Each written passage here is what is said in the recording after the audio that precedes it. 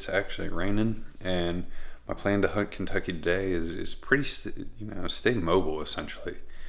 I think I may bring minimal stand equipment, hunt maybe the first hour or two from the stand, and then uh, I'm definitely gonna be still hunting. We got rainy, good conditions.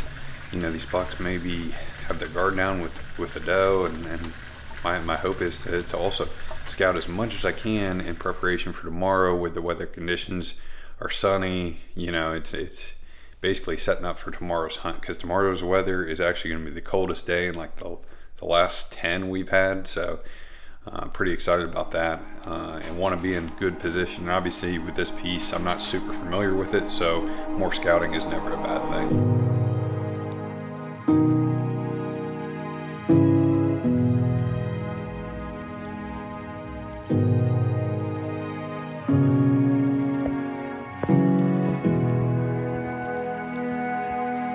Música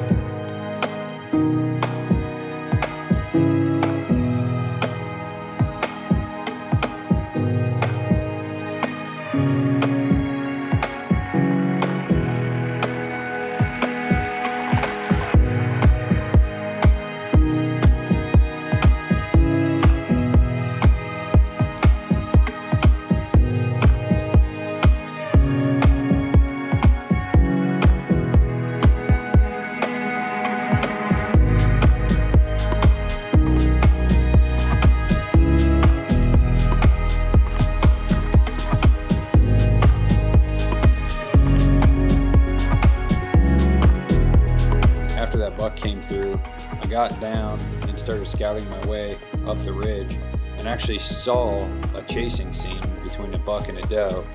Found really good buck sign along this ridge system.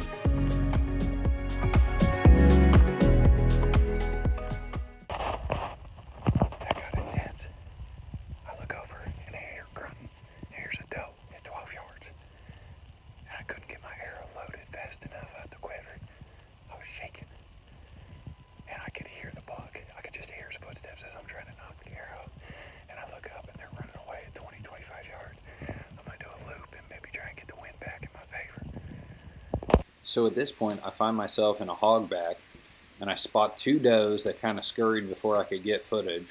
And then this guy shows up, this oh, spiker four point, and he mills around at 20 yards with a death wish. Ends up coming through the uh, system just like I'd like a bigger buck to do. So I elect to kind of post up for a good bit after this encounter.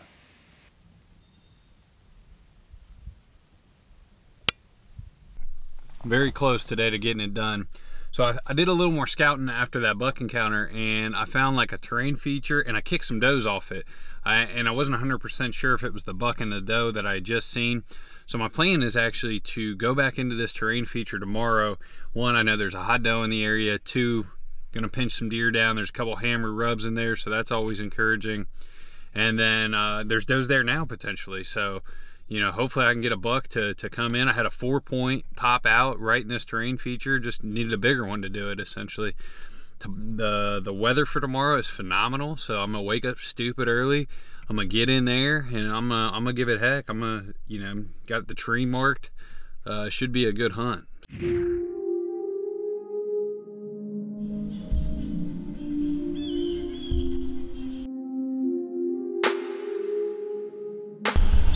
This point, I just heard running and could see a buck running a hillside, small guy, really not sure what he's doing, and he cruised the lower military crest for some odd reason instead of coming through the pinch. Um, I don't know. It just wasn't hot today. I uh, I had the one spiker come through, but uh, no other deer. And uh, obviously yesterday you had a hot doe. You had two does here you had a six point just doing laps and two other bucks. It just, I don't know. Maybe that doe took every everything out of here. But uh, you know, this is one of those spots that I think if you sat it three or four days, you'd catch a good one coming through here. There's just too many good rubs, and this uh, this terrain feature seems to pinch them down.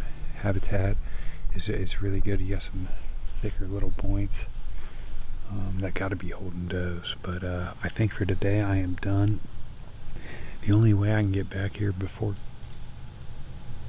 gun season is if I maybe hunt tomorrow. I'm not sure where I'd go. Um, so we'll see.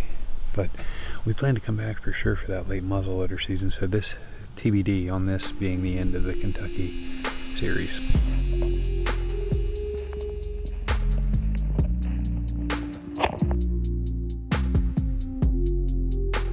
Dave and I, obviously, together have started hunting this piece uh, throughout the season, and we've seen enough buck sign, a couple encounters.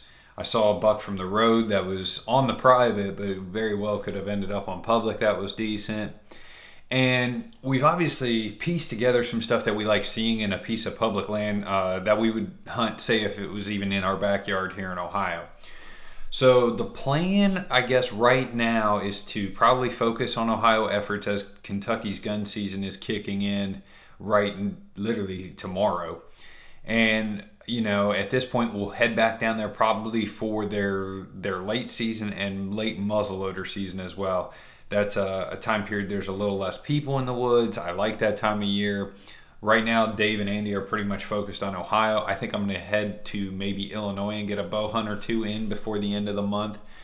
And and so we continue to kind of break down and we found some quadrants that seem to be a little better with what we look for in a public piece and a lot of that comes down to accessibility habitat and obviously what we've visually seen. So we've we we're now we have a blueprint started and and the goal with this series and really our, our future hunting plans is to continue to hunt it to map stuff out so we have a blueprint of, of good areas to check out and the thought is in future years this can be our, our home away from home potentially if if we think it's a good enough piece that if we'd ever tag out in Ohio and be looking to pick up a second tag and go out of state this is going to be our secondary home turf. Um, potentially, uh, it's kind of TBD, but it's it's looking that way.